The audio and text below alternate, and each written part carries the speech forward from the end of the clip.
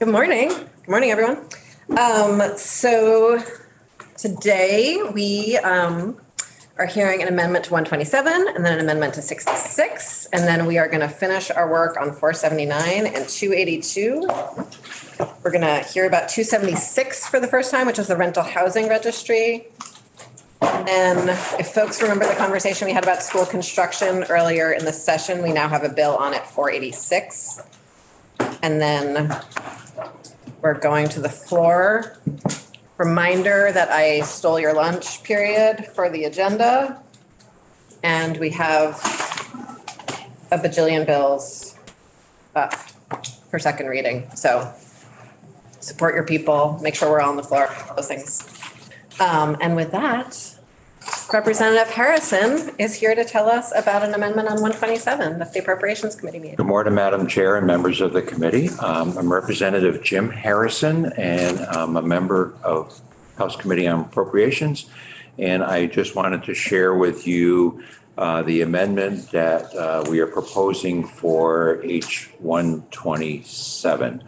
Um, Essentially, uh, what it does uh, is it establishes a special fund called the Sports Wagering Fund, which is um, very similar to what we do with lottery uh, and liquor, where the revenues and expenses come out of a special fund or in some cases an enterprise fund. And that's essentially what this did. So it's an amendment to the Ways and Means Amendment. Um, It doesn't change uh, essentially anything other than uh, it sets up this special fund. It takes, takes out your language on problem gambling program and then puts it back in as coming, um, the money coming from the sports wagering fund and the revenues going in there. And then in the last case, the appropriations are exactly the same as you have it, but again, they're from the sports wagering fund, including the five hundred and fifty thousand dollars uh, startup um, funds that were necessary to get the program going. So happy to answer any questions. Uh, It's, I think it's pretty straightforward. We're just not doing general fund, we're doing sports wagering fund. Um, The money's the same. Thank you very much. I think we were trying to get ahead of you on the way we rearrange things and happier for you to rearrange it and appreciate setting it up the way you want it. Any other questions from anyone? Any, any questions? Yeah, Jim.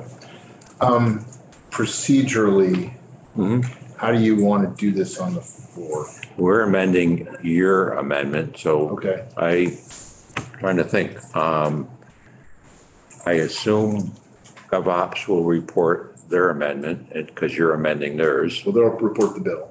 Hmm? They'll report the bill. Yeah.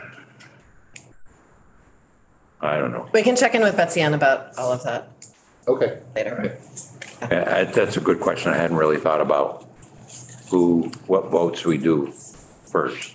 I think we vote on our amendment and then vote on your amendment. I, I don't, We'll talk to Betsy. yeah. Okay. That's a good question. I hadn't really thought about that, how the traffic works. Appreciate your amendment to our amendment. Would anyone like to appreciate it by moving it? I move that we consider this amendment from appropriations on H one twenty-seven friendly. I will second that. Thank you. Representative Canfield moved that we find it friendly. Representative Sims seconded. Any discussion? Hearing none, if the clerk could please call the roll. Andrews, yes. Anthony, Yes. Beck, Yes. Branagan, Yes. Demrow, Yes. Masland, Yep. Matos, Ode, Sims, Yes. Taylor, Yes. Canfield, Yes. Kornheiser. Yes. Thank you. Ten zero two. Thank you very much, Representative. Thank you very much for your time, and uh, hopefully we'll see you on the floor later today some point. No, I'm not. The probe's on the floor. I'm sorry to hold you up. Well, I was betting that you would take. I, I did tell her you wouldn't. Should we have a? Representative Scheu, would you like to join us? I feed him his lines. I'll tell you later. Hello, Representative. Good morning. Good to see you. Nice to be back in this committee that I've always loved. Special place in my heart for Ways and Means. We actually even saved a seat for you at the end of the table. I did feel like I need a pillow though or something. Very. It's okay. Anyway, so for the record, Robin Scheu, uh, Representative Robin Scheu from House Appropriations, here to tell you about the appropriations uh, amendment, which we uh, will have on the floor today. Um, First, just thank you all for the work that you have done and the fact that you and uh, Ledge Council and JFO put together such a great roadmap for this whole program really helped us figure out how to put our amendment together with a lot less um, angst. So we actually have um, five instances of of amendment, but two of them are yours. There are some technical ar- amendments that you all were going to do, and we said we'll just put them in ours and not confuse the world by, by those. So, so frankly, if I get a question on the floor, I may yield. But they're just technical. So, so um, what we did essentially was rather than appropriate the full 111 and a half million, which was proposed out of this committee, we took about a third of it, $37 million, and we're proposing to fund $37 million to the program this year. So in our first instance of amendment is in section 13. Um, So in- there's currently an A, B, and C, and it has money going to the division, to the, um, uh, to tax, and I think basically to the fund. If you look, I'm looking at your draft 4.2, just so you know what, what I've been using. So that's on page 61, which is 46 million and change to the division, six and a half million to tax, and 58 million, which I think is sort of the setting up the six-month reserve. So what we said was, let's divide that by three, and we'll appropriate 37 million. And we will uh, just do that to the, um, for the Division of Family and Medical Leave. And so, uh, so they can start to establish the program. So uh, using that model, the second instance of amendment deletes um, section 13B, the six and a half million to the tax department, because we're not giving any money to the tax in fiscal year 24. And it deletes section C, the 58 and a half million. And instead, we're going to give 37 million to the Division of Family and Medical Leave so they can establish the insurance program. So that's the first instance of amendment. And by the way, just remind you, you have your chart, but the tax department doesn't need funding till the following year. So we're giving money that's definitely needed the first year plus a little more. And we really, um, sort of towards what you thanked us for in setting it up, we really sort of tried to make sure the fiscal note that went to you is set up in those multiple years so that you would be able to Yes. bucket out the money as you saw fit. Right, Yes. which just made our lives so much easier. We didn't have to do as much math in public as we sometimes have. to. So that was, that was really helpful. Plus, we, everybody could see it. So thank you very much for all of that. Um, so the second instance strikes out that to the Department of Tax and then, uh, which is section 14, we just, um, eliminate it. And then the third instance of amendment, um, actually strikes out section 15. It's almost like we did a strike all. We struck out section 15 and replaced it with a new section 15. And section 15 has all of the positions over the three years to the division, the new division of family and medical leave. So you had all laid it out to, you know, what you need in FY 24, 25, and 26. And we just then basically kept or put in 15A, which is the six, six permanent classified and three permanent exempt positions that were required in FY '24. And then everything that was not needed in '24, we took out. So, um, so that's what we did there. So those were the three big things that we did. Um, The other two amendments were back in section 12 and had to do with the private um, employer plans. And it's my understanding that some changes were made here and then then um, Ledge Council did kind of a search and paste and replace, and these two were missed. So that's really what that's about. Um, And that is uh, section 12, which is on page 60 of 66. And in 12A, we change the words on the second line uh, that says, chapter 26, beginning on January 1st to for calendar year 2026. So that was the change there. And then down in C2, uh, begin providing benefits It's actually July 1st of 2026 rather than January 1st of 2026. So those were the two technical amendments. That hopefully make sense to you. Okay, Tax doesn't need any money until 24, till 25. 25, but they do have to set up their IT. They don't need to do that until 2025. They have no money that they've requested in 2024.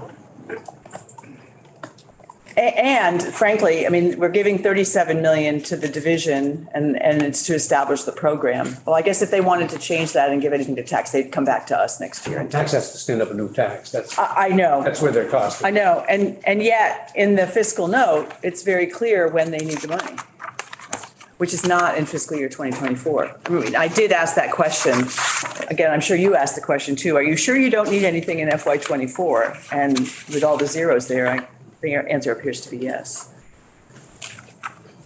Did you have something? Yeah.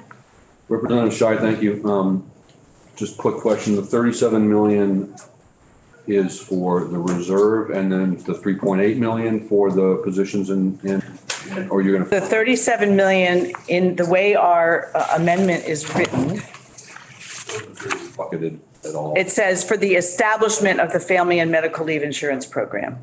Okay, So that would include what they need to do to start getting set up and those nine positions. three point eight million dollars worth of positions. FY twenty-four, okay, thank you. So we didn't, we didn't separate it all out. Very good, thanks. Any other questions? Everybody kind of understand it all? This is good practice for me to talk about it. Yeah, no, Public. I thought it was very clear. Okay, uh, affirm what you said, Bob. As long as the Probst is convinced that the- the money for the next year is appropriate for what's needed in the work done, then I'm very happy. yeah, we, we, we kind of, you know, tried tried to grill people to make sure. I- It's good. It's important these that days. We, we have to go by what people tell us and, Understood. yep, No, and you were absolutely fully funding what the fiscal note said was required for next year. Right, and- Intentions around. Yeah. Thank you. yeah. Did your um, thumbs up mean anything, Representative Anthony? Okay, good. Okay. Would anyone like to move the amendment? I would. Second. Representative Anthony moved that we find the amendment from the Appropriations Committee on H sixty-six favorable. And Representative Ode seconded. Any further discussion? Thank you very much, Representative Scheu. Thanks, Robert. Andrews, yes. Anthony, Yes. Beck, Yes. Branagan, Yes. Demrow, Yes. Masland, Yep. Meadows, Ode. Yes. Sims. Yes. Taylor, Yes. Canfield. Yes. Kornheiser, Yes. eleven zero one. Thank you very much. Thank you, Robin. Thank you. Thanks, Robin. Good start to the day.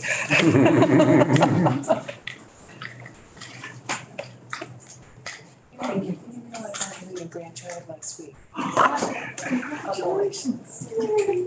This came so close to falling my coffee. First, all the tissue seems to have disappeared from our Okay. table here. I'll uh, say to you. Yeah, I noticed that. Yeah. I think we need to text her. Wait, yes. We're gonna take a brief moment to find legislative counsel.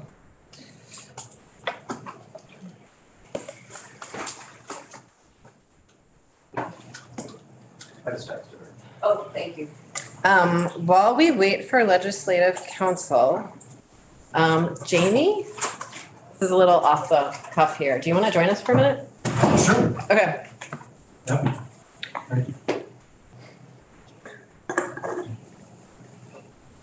Grab some stuff.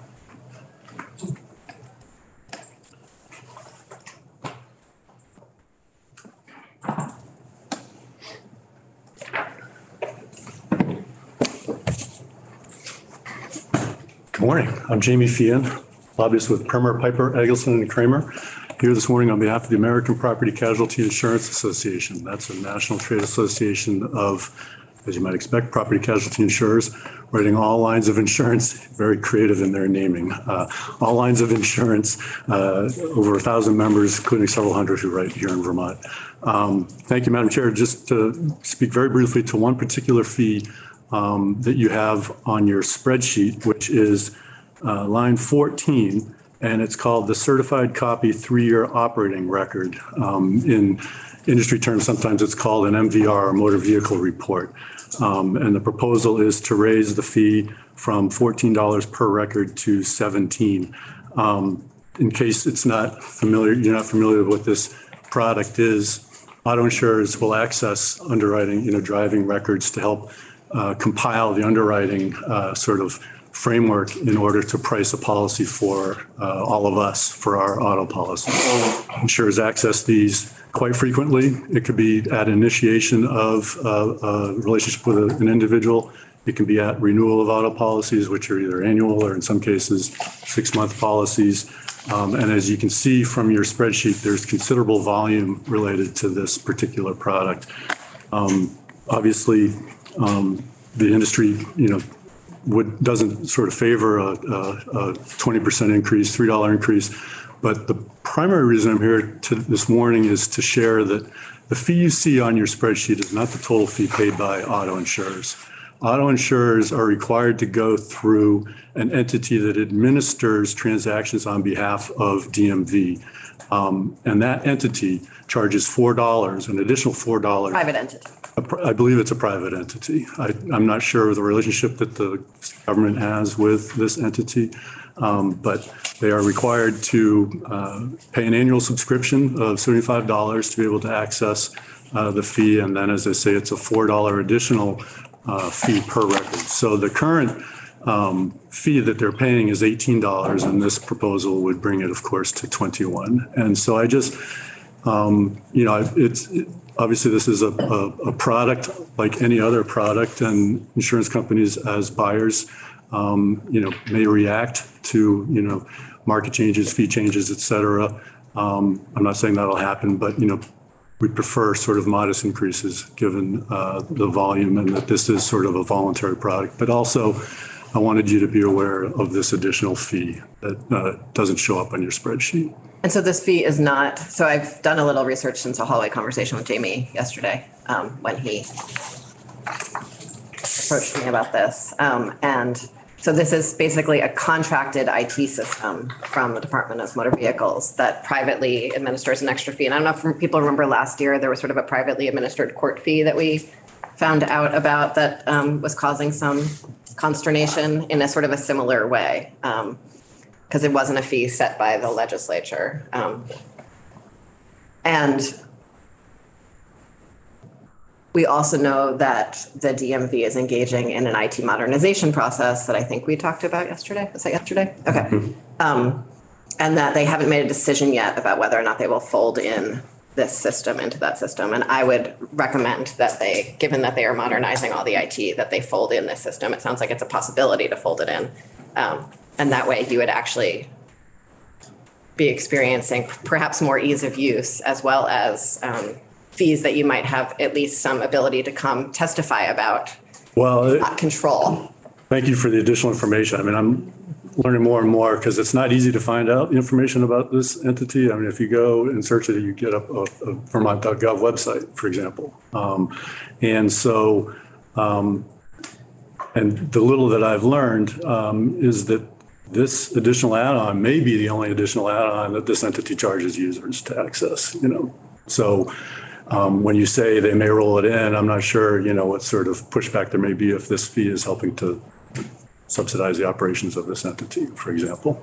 Well, I think perhaps we just wouldn't contract with that entity anymore. We would just, Yeah, I'm not sure what else they do for the state. Uh, so two questions, Madam Chair. Um, how long has it been since this fee was changed? I believe 2016 or 2018 in your, It's similar to the other fees, and, Yeah. um, who pays it in the end? Is that a, a, the, in- the, and specifically the increase, the four dollars, is that something the insurance company puts back on their client? Or is it the state of Vermont, or who pays that? it's, it's paid by insurance companies, but ultimately all the costs that insurance companies pay are factored into what, you know, they're able to charge or are charging to policyholders. Their client, their people? Sure, yeah, you and me as policyholders for companies. Any other questions for Jamie? And I'm sorry that we're contracting with a private entity that is Do that. um, you know, so untransparent to you as a person. No, I appreciate that. And, you know, I mean, it's, it's a different scenario, right? I mean, here we are talking about a fee in front of you. You set the statutory fees. I don't even know how that fee is set. And who has oversight over that additional fee? And while we don't have um, necessarily all that, you know, in this committee, we are not deeply engaged in the IT modernization process. I'm, you know, really happy to work with both transportation committees to ensure that this is included in the IT modernization process because it sounds like it's a possibility. Thanks for letting me bring the issue to this. Absolutely. Appreciate it. Thank you. Hi, Becky.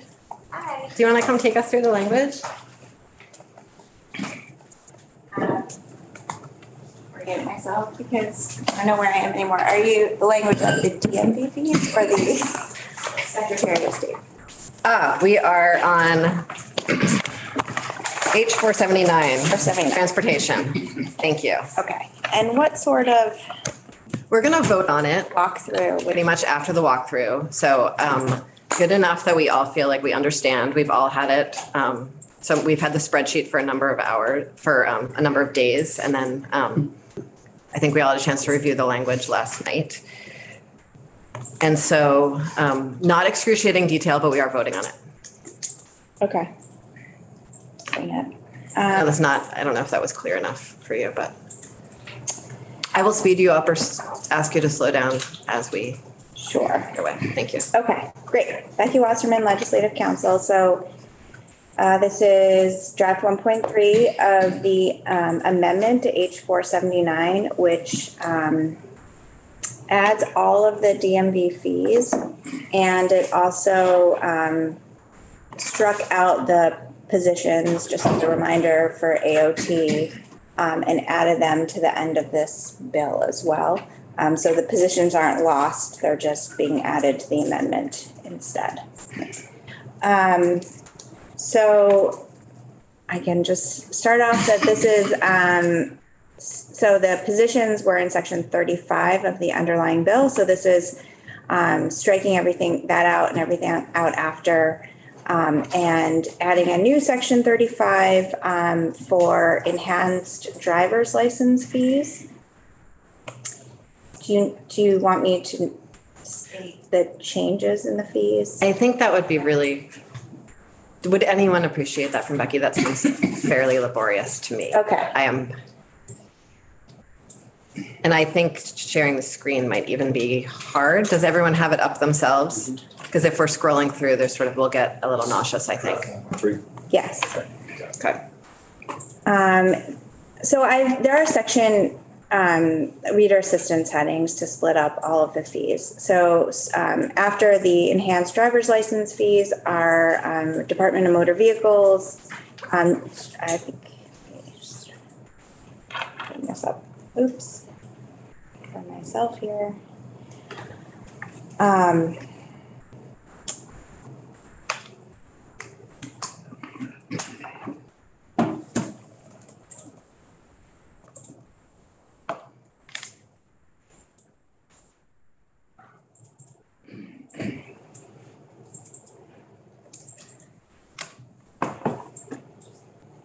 Bring this all up get there. Um, So section one fourteen, um, has, um, fees for miscellaneous transactions, um, so certain registrations, um, certified copies of applications.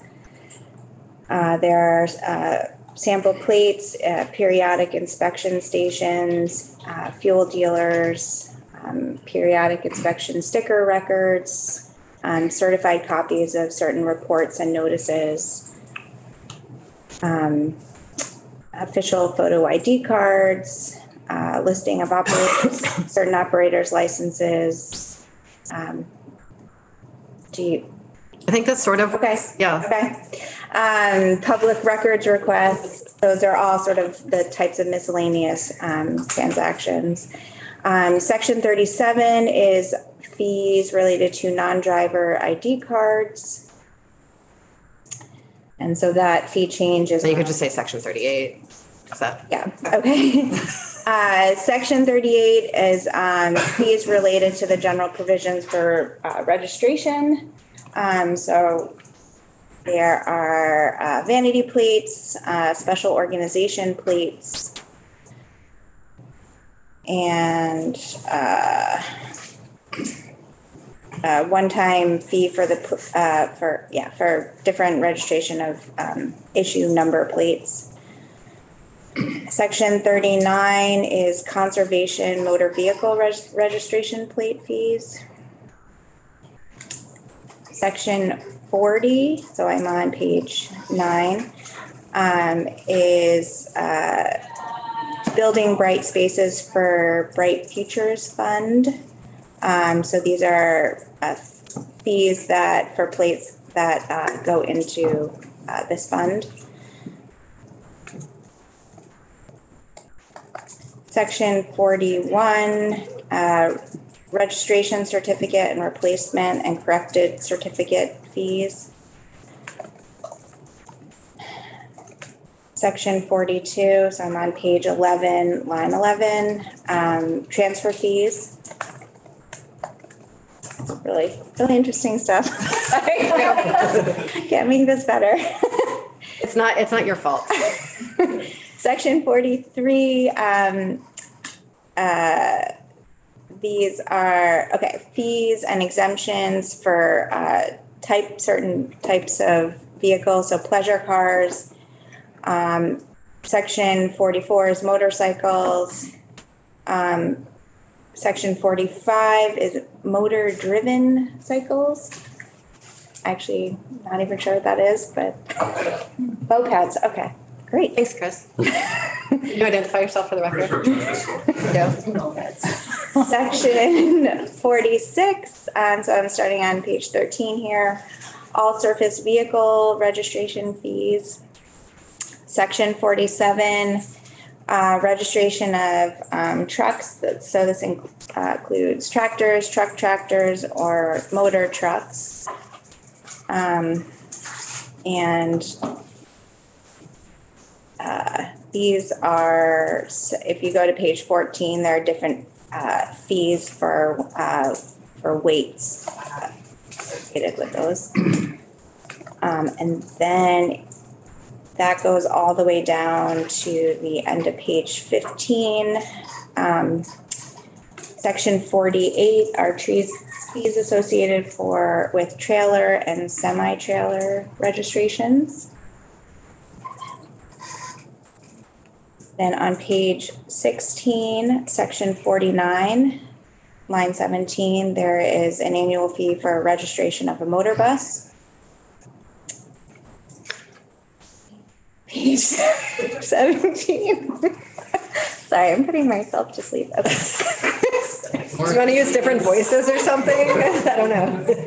Section fifty, uh, local transit, public transportation, uh, Just for the record, I think many, like, people really are following along. Okay. Representative Demrow is actually cross-referencing. Right there with He's, you. he's cross-referencing cross-referencing the And I- spreadsheet even, so we I've are only paying had one cup of coffee this morning. Oh, I have only had one too. Maybe that's the problem.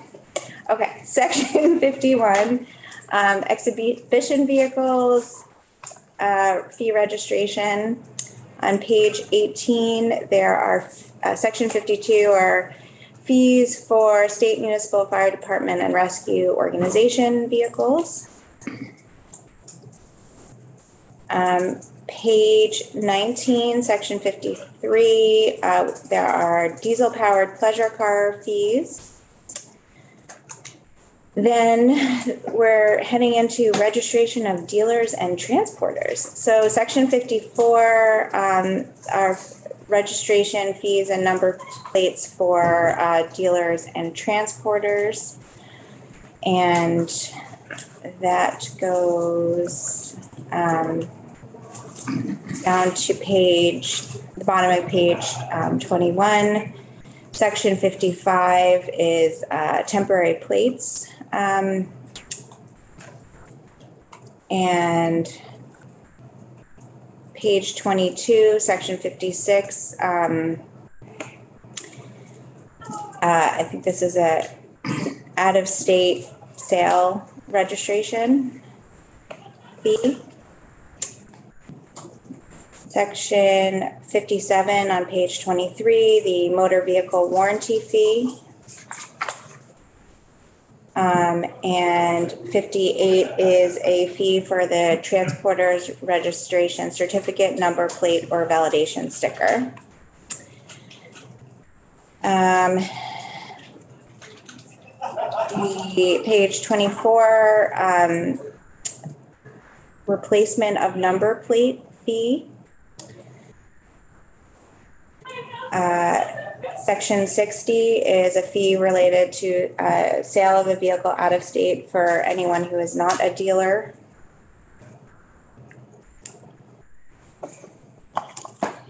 Uh, Page twenty-five um, is a fee for an interest date in transit registration permit um, to move a vehicle uh, in, in Vermont out of state, I believe that. Can correct me on that one. Um, Page twenty-six. Um, So operators licenses, um, section sixty-two. Um, so this is fees for licensing an operator of a motor vehicle. Um, there are four-year and two-year fees. Um, and a fee for a motorcycle endorsement. Section sixty-three is a fee for replacement of a license. Page twenty-seven, section sixty-four is a learner's permit fee as well as a, for a vehicle and a motor, motorcycle learner's permit. Page twenty-eight, um, examination fees for learner's permit, section sixty-five. Page twenty-nine, section sixty-six, um, is suspension and revocation fees related to a, a license section sixty-seven, so I'm starting at the top of page thirty. Uh, driver training school license fees. Uh, section sixty-eight, um, relates to possession of a license for a, uh, driver's training school license. Um, section sixty-nine, page thirty-one, uh, this is, uh, I think, a fee for uh, each inspection certificate provided by DMV. Section seventy, page thirty-one, are fees related to, um, for vehicles that uh, have to register for certain weights on the highway. Uh, Page, so those go down to page, let's see. Thirty-five, section seventy-one, um, fees for overweight with height and length permits. And can jump to page thirty-eight. Um, these are uh, fees related to titles of motor vehicles, section seventy-two. And page thirty-nine, section seventy-three, um, fees for certain um, vessels, snowmobiles, and all-terrain vehicles, such as application for titles, um, so title fees as well for those types of vehicles. Um, page forty, section seventy-four, and line eleven. Uh, fees for commercial driver's license and learner's permit. Page forty-one, section seventy-five, um, the, uh, application for the commercial driver's license or learner's permit. And page forty-two, section seventy-six. So we're under motor vehicle purchase and use tax. Um, so, uh, the, this sets the amount of the tax, um, and I might have to phone a friend for this. So it's the amount of the tax or up to a certain fee for each vehicle. Yeah, Madam Chair, this is a special provision that applies to large vehicles over ten thousand one hundred pounds. Um, so Ah, yes. There's a provision in statute that they pay six percent of the taxable transaction price, but there's a maximum in statute, so this would increase that maximum. And I, you've told us about that a few times. Okay, great. I can't remember. What, what is the, what kind of vehicle is a ten thousand pound vehicle? Truck, Tractor, yeah. Like a big truck, not like a Six-wheeler. person truck. Okay. This is purchase and use. correct. This cap does not apply to Irene House looking at. Does not apply to what? Passenger vehicle. Yeah, right. Back to you, Becky. Cars. Okay, um, moving right along, page, page forty-three, section. I'm sorry, one second, Becky. Oh, sure. What's your Is that question? to help farms or, or to help commercial vehicles or? Ten-wheelers. Six-wheelers, ten-wheelers. Big, yeah. Big Yeah. Tandem So truck. what would, do you think the policy consideration behind that? Of what? Having a cap. Yeah. So that they are. Wear and tear on the road. Here and- Well, I'm wondering why they have a cap. I don't know. They're really expensive vehicles, I think. This is the, yeah. And the weight has a cap too. Yeah. Okay. Back to you. Okay, um, so wrapping up page forty-three, um, section seventy-seven are the positions that I referred to for AOT. So these were in the underlying bill and struck out and just put towards the end of this bill in case any changes, um, need to be made in appropriations. Um, and then the effective dates, um, so it- with respect to the fees, the fees will take effect on January 1st of next year. And that, everyone, is because of concerns about um, interfering with the IT modernization process. So rather than having it be effective July 1st, it's effective January 1st, 2024, because they're supposed to be launching this fall, the IT modernization, so that they'll have time. Okay, um, so there are two sections in the underlying bill that take effect on passage and then all other sections of the bill take effect on July 1st. I just have one question. I noticed in the trucks that the, the fees are in cents also, all, everywhere else they're kind of rounded. Is, the- is there a, I'm sure there's a good reason for it, but is there a, I remember Chris explaining the reason for that yesterday, but I don't remember what the answer was. I just remember it making sense, I- so. I can Chris. answer that, Madam Chair. And, and so truck fees are really, really complicated, but, um, the way the statute reads, um, they're not rounded off to the nearest whole dollar because what a, what a truck operator or the registered owner would pay is based on the vehicle's weight.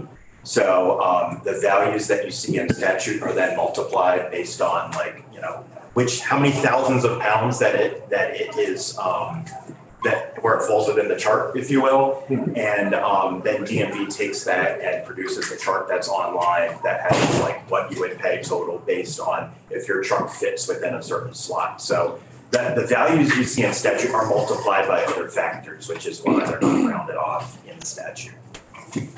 I'm just wondering whether that's, whether that creates hassle somewhere where people are cursing and saying, you know, if they rounded these up, we would save a lot of time or money with these. Yeah, I think, I think the hassle, Madam Chair, would probably live with the, the folks who have to administer them at DMV. Um, but they, they'll produce a chart that says in, in, it's available online, um, of what, if your vehicle weighs, you know, between this many thousand pounds and this many thousand pounds, it's very straightforward of what you're gonna. Yeah. Okay. Thanks. I think this is for Chris. What's the difference between a, uh, sample plate and a temporary plate? I would have to ask DMV. That is not a. She does not answer, she does not answer DMV questions. That is not a question I've had the opportunity to explore yet. Okay. Oh, I, I perhaps should not, but I have seen license plates that are for sort of like demonstration purposes that aren't really temporary. They're like, but they're not quite vanity plates, right? Okay. Tell us more. I, I- like, I have an image of like a license plate that has just like some random words. I'm not gonna do anything on the whiteboard. I just like, I can sort of visualize the different, and then the temporary. WCAX has for their vehicles, is that what you mean? No, I think that's a vanity, but I'm gonna, I'm gonna stop even trying. Like the infamous, I think, the, the six three one license plate that the administration used for years. Oh, yeah. Maybe I'm just dating myself here, but that was their big, one. I think that's like a sample plate. It's not actually used on a car. No, but it's actually a real plate. It's a real plate, whereas a temporary plate is not a real plate, but it's used on a a paper car. plate. Yes, okay. They also, um, Look how we solve our own problems. Okay, we're just making stuff up, so I'm gonna shut it down. Are you also hypothesize? I have something for you, I actually have good, something for Leo. I know that, you know, in the case of, About um, missing wheels. and this may be the answer to Representative Campbell's uh, question, may not be. But I know that, um, for instance, when a skier gets a tramway license, they're issued a plate that is made by the plate shop in St. Albans, and it looks like a license plate. So it may be, maybe that, I don't know. That's not- I can confer with Anthea and get back to you if you. No, we're good. No. Really good. Thank you so much, Mickey. Really appreciate it. Okay, unless you, you didn't, okay, No, it's a great, nice okay. revision. Okay, thank you. Ski Pico. Yeah. Madam Chair, I'll make a motion that we vote out uh, H four seventy-nine, our strike all amendment favorably. Okay, second. Representative Demrow moved that we amend um, 479. And Representative Anthony seconded. Is there any discussion? Just in time. Yes, Representative Beck. I got some questions about, um, I guess I have three questions. So first one is, does, does this language, um, one hundred percent accurately reflect what Chris presented in, um, the other day? So it's, that's the same thing? The number, uh, uh, Madam Chair, and to answer Representative Beck's question, yeah, the, the language that Legislative Counsel has before you, all of those changes should match exactly what was on my spreadsheet. I think the only, the only distinction in the conversation in the last two days is that the effective date um, is proposed to be January one to allow DMV some ability to continue um, rolling out the core modernization. So, you know, the first year of anticipated revenue would be, you know, less than the full year of revenue that was projected on my sheet. And I wouldn't, I wouldn't make the assumption that it would be exactly fifty percent less, uh, because there is some seasonal variation in some of these transactions and some inherent timing delays, but I think it would be a little bit less than fifty percent of a full year's revenue to do Okay. that. So you, you partially answered, answered my second question. So we're not expecting in FY twenty-four that this will generate twenty-two point No. five million? No, because of the. Something around half of that? Yeah, I would, I mean, I like to aim low and, and exceed sure. expectations, but I would, I would, i- if you were to put me in the hot seat right now and say, what do you think this will generate in FY twenty-four? Without talking to the economist, I'm just spitballing here, I'd say you're in the ballpark of probably between eight and nine and a half million dollars. And then that twenty-one number represents more of sort of a steady state full year, uh, full fiscal year. So you'd be looking at slightly less than that. Okay, and then my last question is, is, is a process question. I just don't understand this. I, this, this is, this bill started in transportation. We have it now. I don't know if it stopped anywhere else. But I, I'm hearing from the people in transportation that they haven't looked at this bill. Is that true or? So I think what, so they voted out the big T bill, which is what we'll do a full vote on after we amend this, if we amend this. Um, Okay. and then our amendment needs to go back to the transportation committee for them to hear it. Okay, so this hasn't stopped in transportation? The, the underlying bill has, but the amendment absolutely hasn't. No, not until we vote on it, because that's, Okay, right, that's how amendments usually work, right? okay, got it. And Carl did really fully follow along with the spreadsheet and, Okay. um, I trust you. I mean. so, yeah, yeah. I no, may have missed one or two, but Yeah.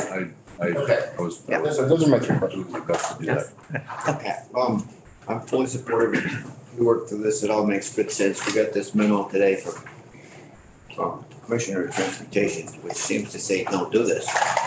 Um, it seems remarkably similar, similar in rhetoric to what we heard from Commissioner Gresham on other subjects.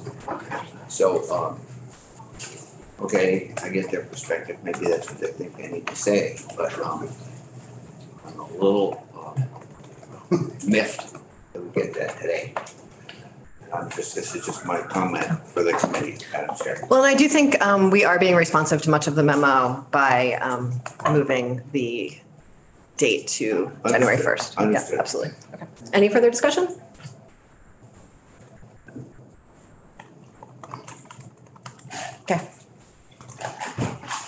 The clerk could please call the roll. Again, we are amending the T-bill, which is 479.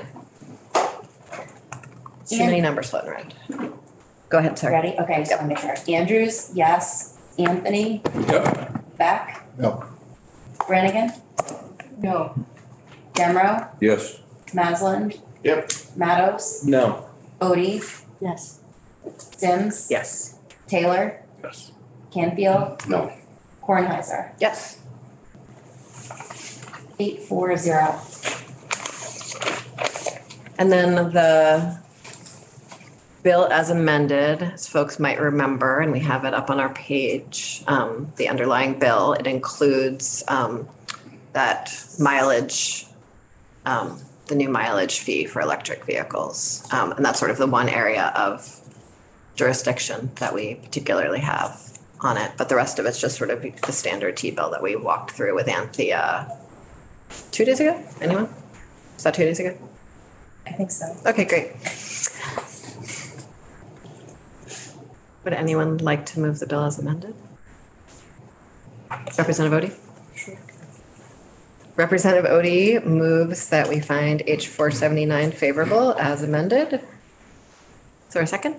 I could, Representative Anthony seconded. Any discussion of the bill as amended? Okay, the clerk, please call the roll. Andrews, yes. Anthony? Yep. Beck? No. Branagan? No. Demrow? Yes. Masland? Yep. Mattos? No. Ode? Yes. Sims? Yes. Taylor? Yes. Canfield? No.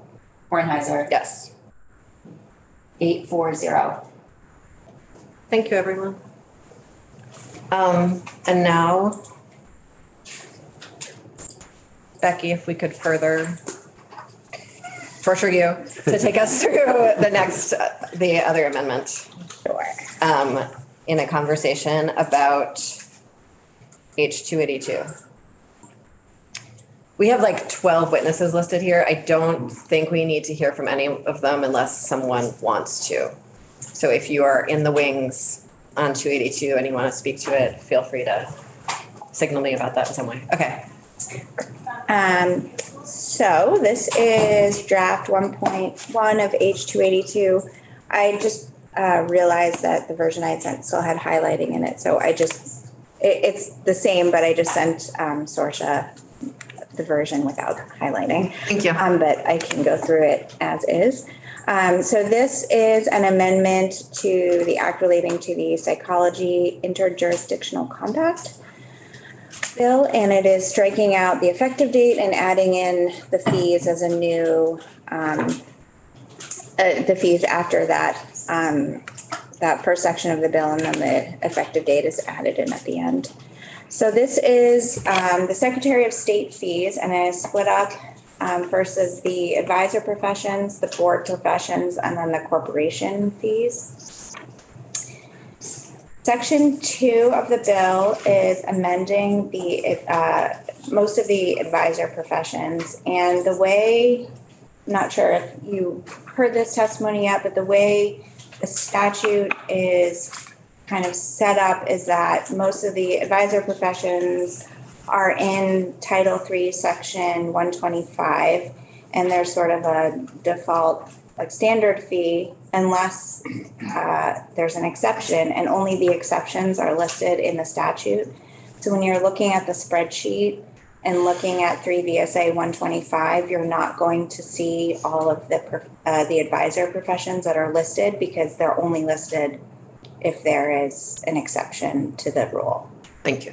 Um, that being said, I'm not sure the best way to go through it because it won't, you, you won't be able to, um, just look at the spreadsheet as I'm reading it through like, like it was for the DMV I fee. think we could just do the same um, basic construct of you sort of naming the headings as we skim along with. Okay, That works for me. so. So section two is amending three VSA one twenty-five. Um, you'll see on page two that the sort of standard application for registration is being changed from seventy-five to one hundred dollars. Um, and again, that applies to all advisors unless there's an exception. And so um, the exceptions are listed below. Um, so those include things like certain kinds of, uh, private investigators.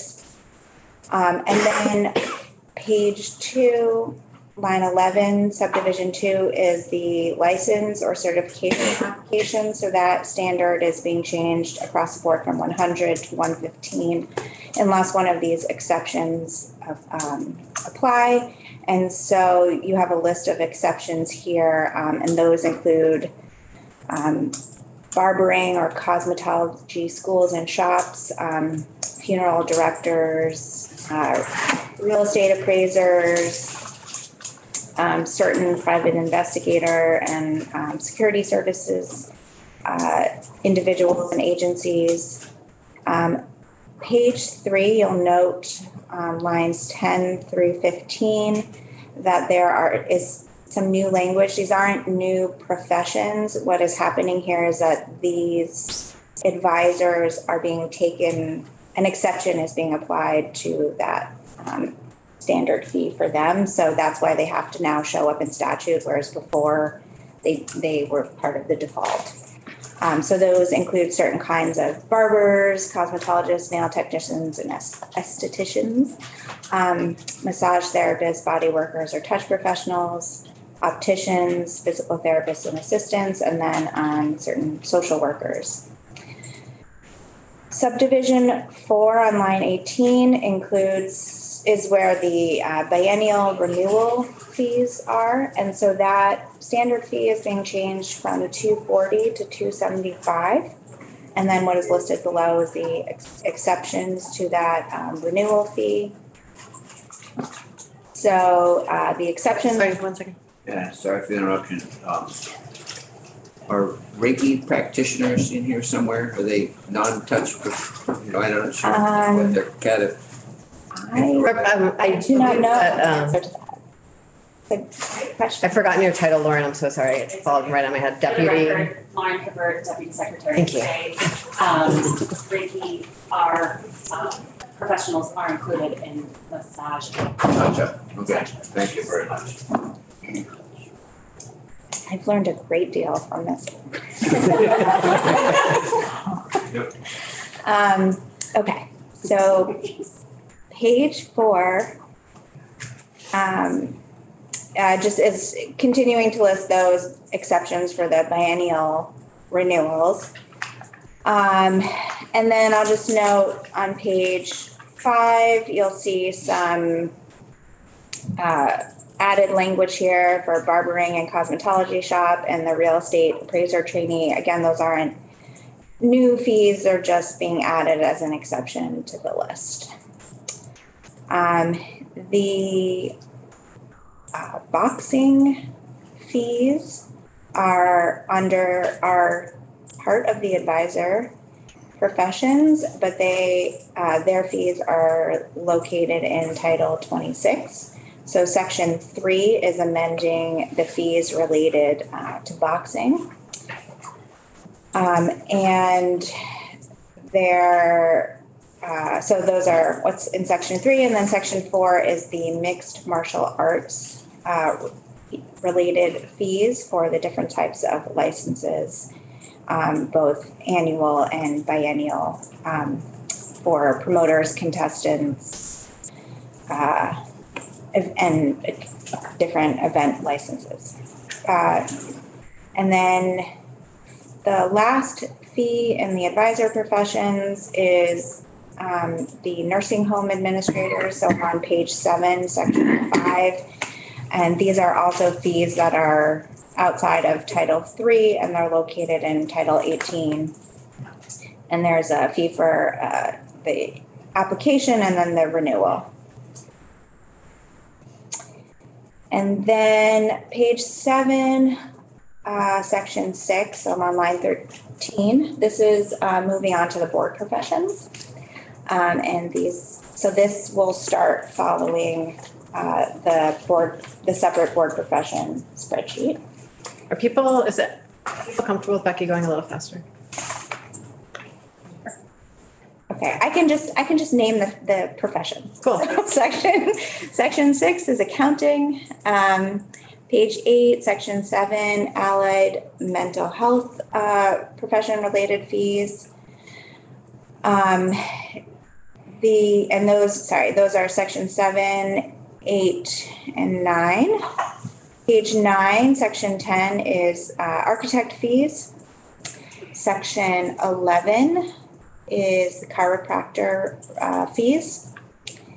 If you move on to page 10, line 14, section 12 is the dental fees um, for different dental professionals. Section 13 is engineer uh, related fees. Uh, Moving to page 11, section 14, land surveyor fees. Section fifteen, nursing profession fees. Section sixteen, page twelve, I'm on line thirteen, is uh, optometry fees. Section seven, osteo profession fees. Page thirteen um, are various uh, pharmacy-related fees in section eighteen. Um, and uh, there are some additions to this list, I believe, based on the changes to the definition um, for certain types of pharmacies and man- manufacturer, manufacturers. Uh, Page 15, section 19, uh, psych- psychology professional fees and um, Section 20, real estate uh, professionals, uh, broker, salesperson license. Section 21, uh, veterinary fees. And then we get to the final part, which is the corporations division on uh, page 16. Uh, So the first uh, few sections here are related to uh, corporations. I'll just grab my list here. Um, uh, And those are, I don't know if you want me to list all the, the different types of fees, but they're, um, you know, assume business name, um, reg- registration, uh, filing, ser- filings, um, copying fees. And those are all listed, on- sort of starting on the bottom of page seventeen. And those go all the way down to page twenty. On page twenty, section twenty-five, you'll find the list of fees related to limited liability companies, and those are similar site types of fees for things like articles of organization, um, amending your articles of uh, authority, reserve name fees, um, transfer reserve name. Um, those, um, go from page twenty down to page twenty-two. I'll note on page twenty-one, there are a few fees here that are new fees, and those are um, because they never had a fee associated with them before, so that are, those are the articles of domestication, articles of termination, withdrawal of reserve name, and statement of conversion. Um, page, Can I, uh, page nineteen? mm-hmm. I don't know whether we talked about the, um, line twelve, that one doubles, was that, line twelve. is that right? It goes from twenty-five to fifty? application for amended certificate of authority. Um, I can just confirm on the spreadsheet. I don't, I don't know if Ted, Ted or Lauren, do you want to speak to that? so we're in the um, corporations under the, uh, line twelve was app, page, it was page nineteen, right? Uh, application for amended certificate of authority.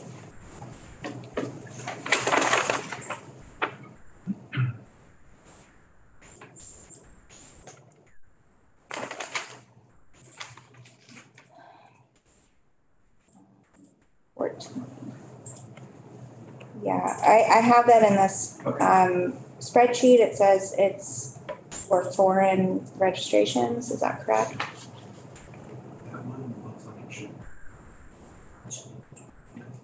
It should be what? Thirty-five. For amended certificate of authority? No, for, um, article, It's the application for amended certificate of authority. Oh, they're, yeah, they're up to Fourteen. fourteen. Yes, yes, fifteen is correct, sorry. Ted Barnett, Director Office, um, it should be fifty dollars, um, it hadn't been updated since nineteen ninety-three. Oh, that's one of the really, really big weak. jump, Okay, yes. okay. Thanks for asking that. See, Becky, we're paying attention. Yes. Keep on going. Feels good because I, we spent a lot of time on these numbers, so. what have you missed that? Okay, um, so I think I'm on page twenty-two, limited liability partnership, um, section twenty-six. So this is the, uh, list of fees for limited liability partnerships. Um, similar types of fees for, uh, you know, statement of authority, merger, um, amendments, uh, cancellation, reinstatement, and the change here on page twenty-four, line twelve is a new line was added for amendment for foreign uh, limited liability uh, partnerships, and that's because um, the foreign and domestic, I believe, had the same fee previously, and um, the foreign fee has changed from the domestic fee, so that's why a new line item had to be added. Yeah. Um, yeah, um, Becky, thank you. Line sixteen on one of these pages, section twenty-six, statement of denial. If you apply for something and the Secretary of State says no, Um, that is a great question. I, I don't know what a statement of okay, denial it's is. not a biggie, but I'm just. I can look into it though if Lauren is not able to answer that. Maybe just in the hallway or Proving a Yes. negative? Um, I'll have to look into that as well, and I can get back to you. Thank you very much. Um, I think we're on page twenty. Twenty-four. Um, so this is uh, limited partnership, section twenty-seven. Uh, the fees there for, uh, the various fees related to, um, limited partnerships, and these go down to um, page twenty-six. Um, it's like, there's a, maybe a spacing issue there. I don't know if that's just because it's a PDF, but I will check the draft for that. There are some new fees at the top of page, um, twenty-six, and I believe those are related to fees that are, um, previously did not, those were previously a fee was not charged, so, um, this fee is being added, and then the same issue for the um foreign, for the amendment of foreign limited partnerships. Um, this used to be the same fee as the domestic, and so it is being split out because it's uh being charged a different fee. Um, then I'm realizing there's no reader assistance here, but I believe eleven B is nonprofits. Um, so I can add that reader assistance if the committee would like me to do that. Um, so. I don't, Sorry? if you're making other Um, changes, sure, but if not, I don't think it's necessary. Okay, it turns out, okay, so there will be another change, so I can add that in. Okay. Um, A technical change? Um, so the change is actually in the effective date section, so the fees need to be effective on passage, but I think it sounds like the underlying bill needs to be effective on July first, Ah, so. That may, Oh, yeah. changes. Yes, if I could just speak to that. Okay. The underlying bill, um, I should have noticed this and my apologies for not. Um, the underlying bill, we would like it to be effective on January first, twenty twenty-four. Okay. Because there's a six-month on-ramp once the bill passes to us, for us to operationalize, once the bill becomes effective, there's a six-month ramp for us to operationalize the compact. And because of the volume of compacts and the amount of change, we'd like a year to be able to do that. So um we're asking that the um underlying PSYPACT bill become effective um January first with the goal to have those applications ready for psychologists July first of twenty twenty-four, but the fees to be effective on passage. Okay. So I can add in the reader assistance heading, um, when I do that change. Um, section, so se- section twenty-eight are the fees related to nonprofit corporations. And there um, is, yes, there is one new fee here on the top of page twenty-nine.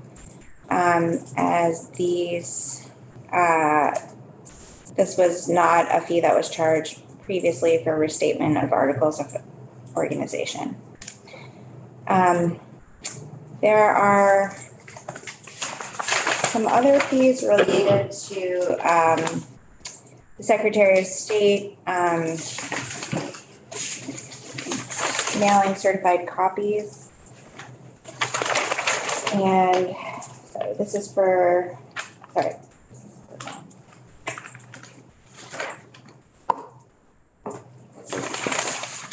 for certified copies, section twenty-nine, is that right? Um, so a fees related to, to mailings of, um, certified copies. And then section thirty and thirty-one relate to, um, trademark and registration fees. Section thirty-two, I think I need a reader assistance heading here too, so I'll add that in, is, um, fees related to UCC filings. Um, and there was some language change there, um, just mostly related to trying to, um, What's UCC? Universal Commercial Code. u- uniform commercial code. Um, I do not want to say anything That's great. more on that. Representative Wise lady. All I know is, is a business, if you uh, borrow with a Vermont lender, they will pass that fee on to you every now and again when it's due. That's all I know, but I, I paid it a few times. I don't know why. Representative Miller. Yeah, last page, um, something we're crossing out, but I'm just curious, a fixture filing. So that is being repealed in subsection D. It has to do with mortgage, um, recording of mortgages fees. Um, and I believe that it is, it's not, this section is dealing with mortgage fees in subsection A, so it's actually not repealing it, it's just adding um, fees for different types of filing and certain number of pages for those, uh, I've Never, I'm not familiar with the term fixture filing. So it's, I can get it. um, Um, we just need like another five more minutes.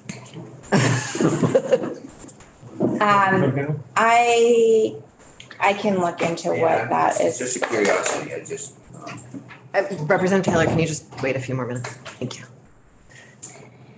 Um, Do you, Lauren, do you want to speak to fixture filings? What we're doing here is just, we're not removing the requirement of a fixture filing, which is a mortgage or the timber.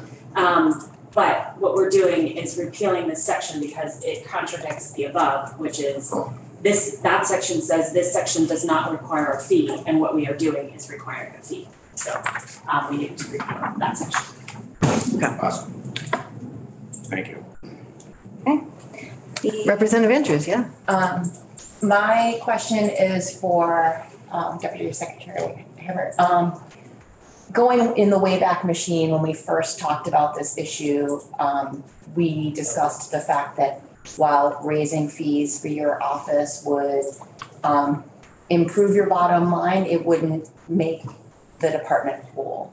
And I just wanna reconfirm with you that that's what we're doing here. That is still correct. And in fact, choosing the inflation model reduced the amount of revenue generated um, for our department for the Office of Professional Regulation. Um, than our proposed fees, we were sometimes going above inflation for our recommendation. Um, and these fees will help us um, considerably, but they will not get us completely out of the, our deficit. Thank you.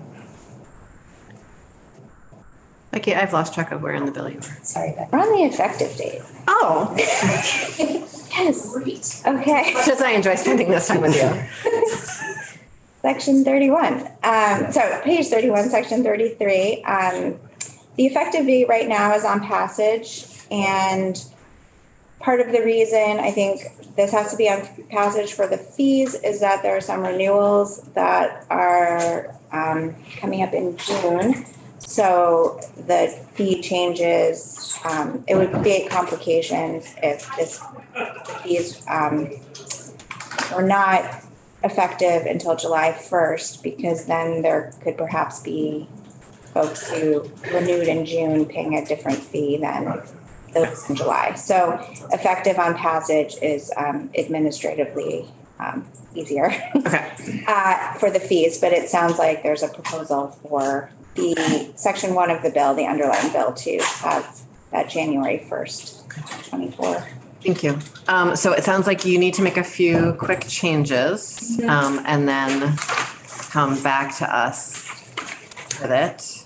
Yes, I can probably just do those. Oh, great, thank you. Because I don't, Jen signs off on the, the part.